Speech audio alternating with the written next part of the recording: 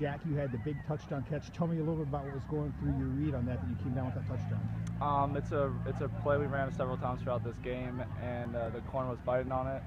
So I, coach and I were talking about doing an out and up, a route that I ran a lot this year, and we ran it well, and our quarterback threw a perfect pass, and I was just able to bring it down. Fortunately, it was a great way to put our team ahead.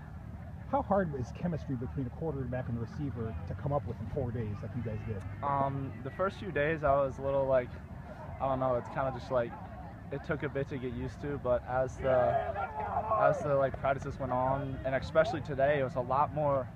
We, we were we were we had a lot more chemistry today than we did any of the other days, and it really showed as our quarterback got MVP of the game. He did an awesome job completing, I believe, 12 of his 18 passes.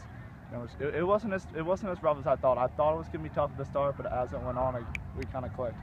What's the importance of, of going out with a win in your final high school game? I was talking about with my friends today. I was like, it would be awesome to win my last game in Ohio, and that's exactly what we did. And I, our, we had great coaches, and we played well, and it was a great way to end it.